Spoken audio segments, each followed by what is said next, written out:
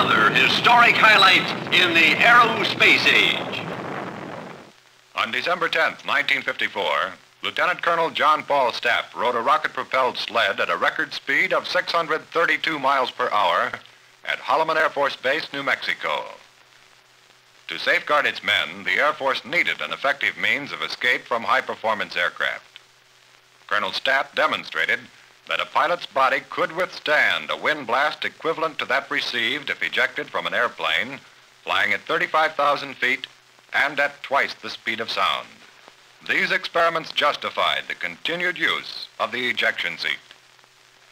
Colonel Stapp rode a rocket-propelled sled at a record speed of 632 miles per hour. The date, December 10th, 1954. Another historic highlight in the aerospace age.